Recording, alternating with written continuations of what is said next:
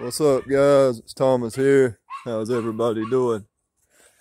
I was hoping to uh, make a video unboxing this, but I wasn't able to. I didn't have time to make a video, and I wanted to go ahead and get it out of the package. Um, and I'm sure most of you can tell by looking at it what kind of tree this is.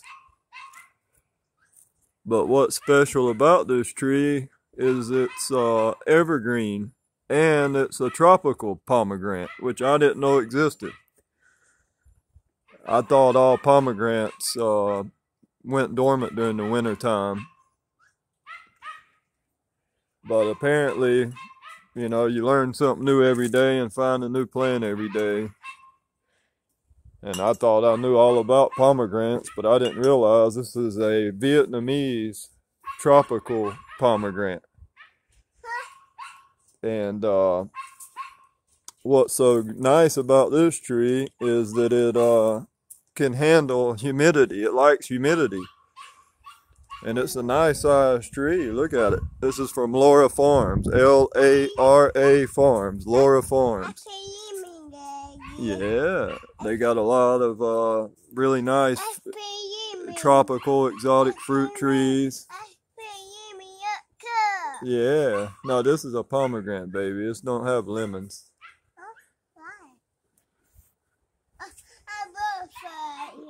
Yeah, it's a broke branch. It got broke in the box.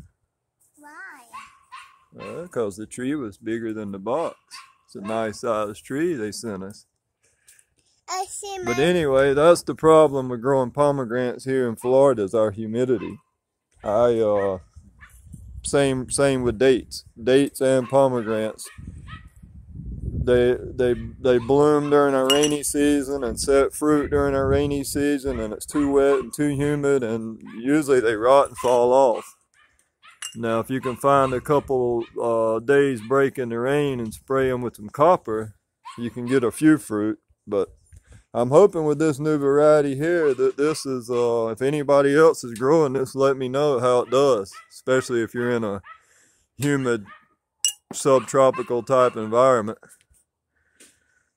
I'm also experimenting with the Afghan Afghanistan pomegranate and the Azadi pomegranate.